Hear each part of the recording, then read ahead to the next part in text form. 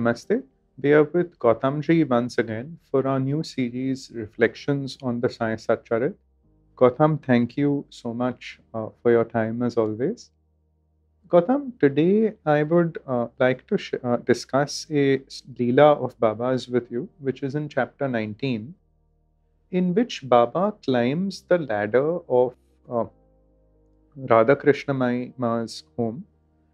He goes onto the roof and comes down. And this is when he was actually very frail. This is a little before his Mahasamadhi. And just some time before his Mahasamadhi. Yes, yes, at that time, Baba was very frail. You know, they actually had to hold him and he would then walk. And at that point, he came to the home, asked for a ladder to be brought. She was not very well. Then climbed to the roof by himself, no support, walked the other side, got the ladder there, and came down and gave two rupees to the gentleman who brought it and even said don't take labor of someone without right. you know uh, paying them for their service. So there were many aspects to this story i felt which were not that easy also to understand. And i used to keep contemplating on this since years and one day when i was reading the gospel of uh, ramakrishna paramhans there was a paragraph that uh, just stood out for me. I mean, I could not say that was pointing exactly to this, but it was so similar. It almost were like was superimposing like to perfection. And I felt I can just read that out sure. and then ask you for your views on this sure. Leela. So, Ramakrishna Dev uh, in chapter 12 of the Gospel, there is are a few paras where he makes this statement a man should reach the Nitya, that is the absolute, by following the trail of the Leela, the relative. It is like reaching the roof by the stairs. After realizing the absolute, he should come down to the relative and live on that plane in the company of devotees, charging his mind with the love of God. This is my final and most mature opinion. Hmm most beautiful. So I felt Baba's whole life was symbolic. He would not say anything. He would show in symbolism through his leelas, through his messages. And for years, this leela would sort of something I felt there is so much more to it. And this, when I read, I said, it, I'm not saying this may be it, but it sort of brought something up. Yes. Yes. You see, there are two things here. One is when Baba climbed the ladder, was on the roof, and came down, there was an audience who saw it, right? Otherwise, it would not be recorded. So he didn't do it for himself.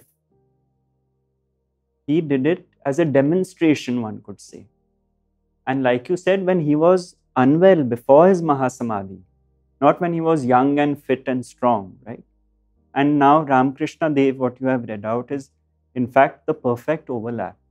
You see, this ladder, Nick, is actually a phenomenon people have seen in their spiritual visions. It is the ladder of consciousness, the climb up to the divine.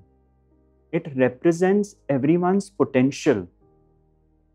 The ladder itself is a very significant symbol. The rungs of the ladder are levels of understanding.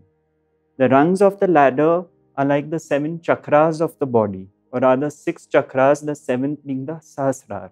From the base level of survival and living to the higher levels, you know, like from the Muladhar, Swadhisthana, Manipur, which is living from the gut, then the heart, then here Vishuddhi, then the eye of singularity, not the eyes of duality. These are the rungs of the ladder and the Sahasrar merging with the divine.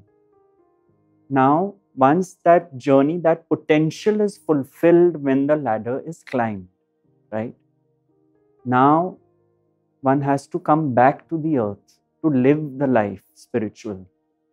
So, in simple terms, if we oversimplify it just for understanding, supposing our spiritual journey takes us to this understanding that all there is is Brahman. Everyone is an aspect of the divine. Now we have that understanding. All is one.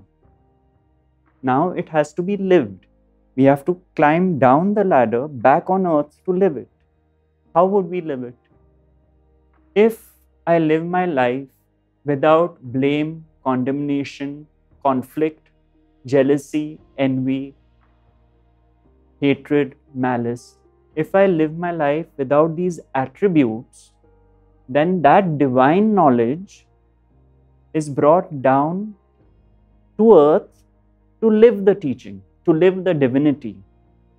And that is why Baba has shown this to us climbing up, being there, but coming back down. To, I would say, live a life of enlightened living.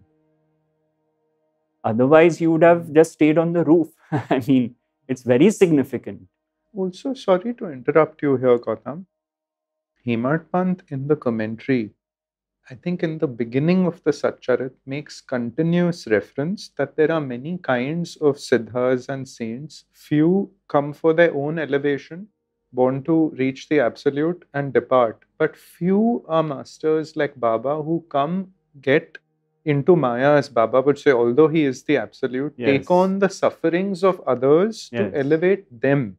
And this kind of masters are very rare and total compassion incarnate. Yes, otherwise, who would want to come back? I mean, you know, once you merge with the divine light, Yes. you have no interest on descending back down on. So it's only compassion which does it. A compassionate heart like Baba's, to even subject oneself to all this. And also, one other aspect, Gautam, Ramakrishna Dev would say this that the ordinary jiva, if he even by chance gets elevated and reaches samadhi, in 21 days the body drops.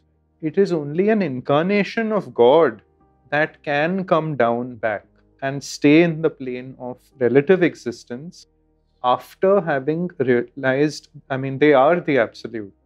But uh, that is another big distinction that Baba has shown that he is coming back, and that too I'm basing it on what Ramakrishna Dev has said, because I cannot say by certain means this is the only meaning. This is what I'm seeing at this point exactly. in time. Exactly. But it is the fact that Baba has come down also shows he is an incarnation because he said very clearly, Ramakrishna Dev, that an ordinary jiva, once they reach the absolute, the body drops, but only a incarnation can come down. Very true. In fact, that is why I say it is said that for many people, the moment of enlightenment is the moment of death. Because it's a explosion, you see. Yes. It's a big shattering. And a normal body mind organism cannot take the impact. So to come back down, only a high level master can do that.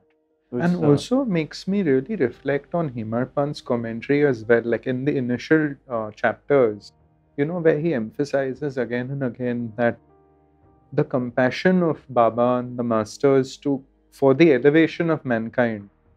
Otherwise, uh, he said there are many who are in the mountains and you know who reach these states, but uh, this is a very, uh, I mean, just for us also to reflect on their compassion and grace. Yeah, really. It reminds me of, I don't know if I'm repeating this, but the kind of folklore myth you could say about the Buddha Yes. when he reached the gates of heaven. And the gatekeeper said, Master, we are rejoicing that now you're finally with us. Do come in. And the Buddha said, No. And he said, But we have waited for millennia for you to enter these gates. We are all lined up for you in celebration and festivity and joy. And he said, No. So the gatekeeper was shocked. He said, But why? He said, Not unless those who are following me allow to enter before me. Compassion. Compassion. This reminds me of uh, Swami Vivekanand, who was a disciple of Ramakrishna Paramhans, he had mentioned something beautiful as well. He said, Shiva is pleased with those who put everyone else in the line to him first and they want to go last. Because this is otherwise selfish that only me and my elevation Right. and let everyone else be. So it just reminded me of that, what you shared. Yes, because as Ramana Maharshi said, there are truly no others. So, compassion is a natural outcome of the awakening, one could say. If compassion has not happened, awakening has not happened. Then it's still me and the mind. My awakening won't work because it is the me which is the problem, you see.